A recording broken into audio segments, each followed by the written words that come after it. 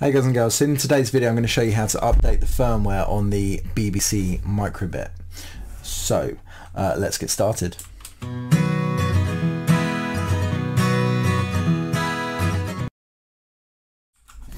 Okay, so we're going to plug the Microbit into the PC and that should become discoverable and we're going to go over to the uh, Let's Code website so the Let's Code website is the Microbit uh, website and we're going to go down to Let's Code and we're going to create a new project.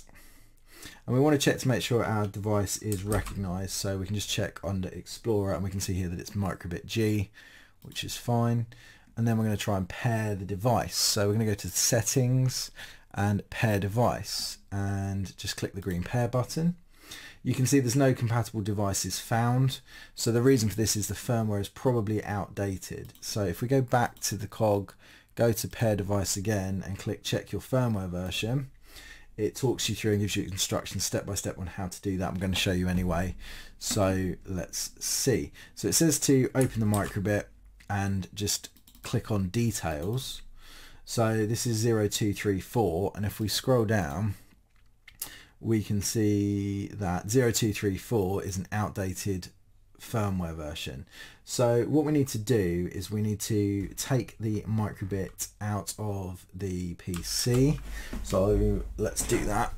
And on the back of the microbit, there's a little reset button. Hold the reset button in and put it back into the computer. Once it's plugged in, you can release the button and that's fine and let's just take a look at what that's done. So what that's done is, um, if we go back to the Let's Code site, because um, we'll need that in a minute, and I'll show you under Explorer that we're now in maintenance mode. So the microbit has actually loaded in maintenance mode. So we need that open. Okay, so what we're going to do is we on that on this page, which is the firmware page, you can click the blue firmware link here, and I'll link it in the description as well.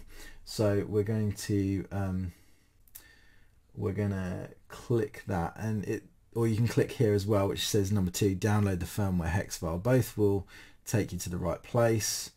Um, so for instance, if you click on here, and then you can click firmware upgrade or you can just scroll down and click download the firmware hex file.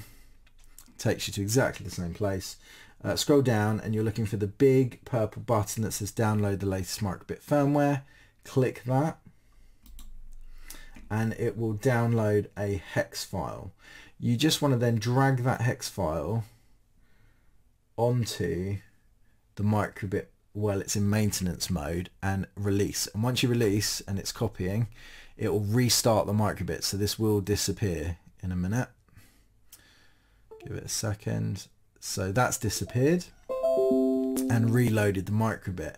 So the microbit should now be back into its normal mode, which it is microbit G. We can see that. And what we can do now is we can go back to the Let's Code website and click pair device again and you can see now that we've got BBC microbit CM SIS DAP okay and we can actually select that and connect to it. And now we're connected to this we can actually just download any code straight to the microbit which makes it a little bit easier. Um, you can check in details as well. So again in details and you'll see you should see a interface version 0250 so we are now on the latest firmware. So I hope that's been helpful.